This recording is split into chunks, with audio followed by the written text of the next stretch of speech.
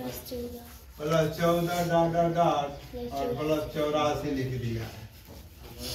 अरे क्या है लेकिन यहाँ पर ध्यान दो शुरू में जा रहे हो और अंत में जा रहे हो। तो याद आया कुछ? यहाँ से जब हल करोगे तो लिखना तुम प्रथम पद।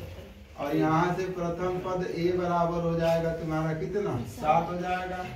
हाँ सबसे बड़ी चीज़ है इसका सर्वांतर निकालो। सर्वांतर। तो सर्वांतर तुम्हारा डी होता है तो दस है एक बटा दो माइनस का सात। दस गुना का कितना हो जाएगा? बीस? और इक्कीस इक्कीस बटा में दो माइनस का सात, यही कर लो। इसे हल कर दोगे तो इक्कीस माइनस चौदह बटा में दो हो जाएगा लौसा ले लिया हो। अब इसको घटा दोगे तो सात बटा कितना हो गया? ठीक है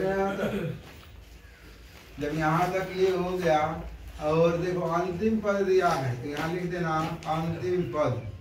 तो अंतिम पद बराबर हो अंतिम पद यल बराबर कितना हो जाएगा? चौरासी। यहाँ सर्वांतर नहीं निकालोगे, तब भी चल जाए क्यों? क्योंकि अंतिम पद दे दिया है।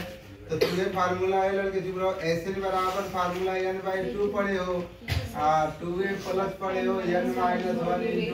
यही पढ़ते जा रहे ना लेकिन एक और फार्मूला लिखवाया था कि एन बाई टू लिख दोगे ए प्लस ए लिख दोगे N minus one into D भी तो लिख सकते हो इसको तो यहाँ से लेकर यहाँ तक अंतिम पद वाला भी फार्मूला है तो इसे is equal to N by two करोगे बाबू और ए प्लस कितना लिख दोगे यार यहाँ देखो डी का तो मतलब ही ना बनता है आई बात समझ में ना?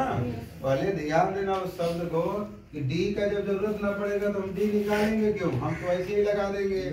तो यहाँ से जब लगाने जाओगे तो एस एन बराबर यहाँ से निकाल लोगे। तो यन यन तुम्हें पता है लेकिन यहाँ रुक जाइए एक सेकेंड। यन पता नहीं है ना?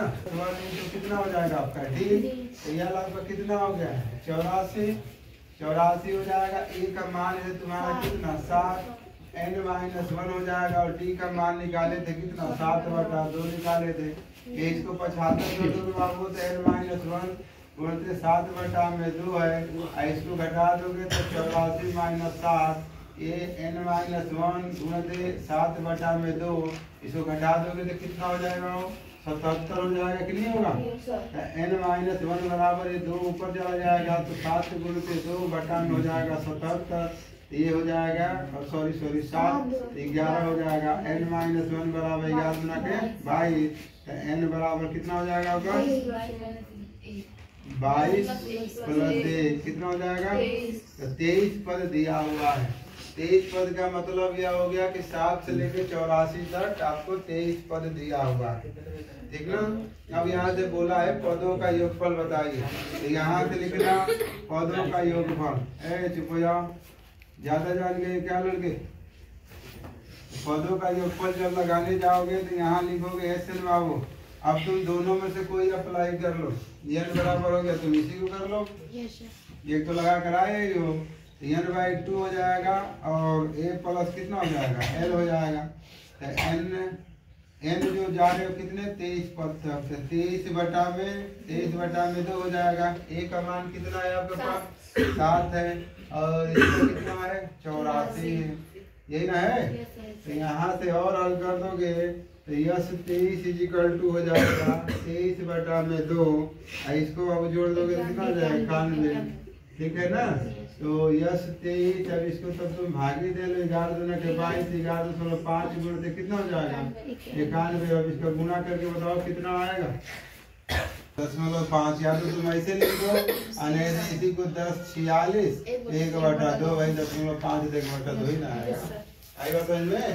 इस सवाल को ध्यान देना कि इसमें यन नहीं दिया है प्रथम पद दिया है और अंतिम पद दिया है। तो आपको सबसे पहले उद्देश्य कि आप यन निकालेंगे और यन निकालने के लिए आप अंतिम पद वाला फार्मूला लगाएँगे। यहाँ से यन निकालेंगे, फिर यन का मान प्राप्त होगा तो आप फिर जाके एस का फार्मूला लगाएँगे। माइंड सेट कर लेना इसको।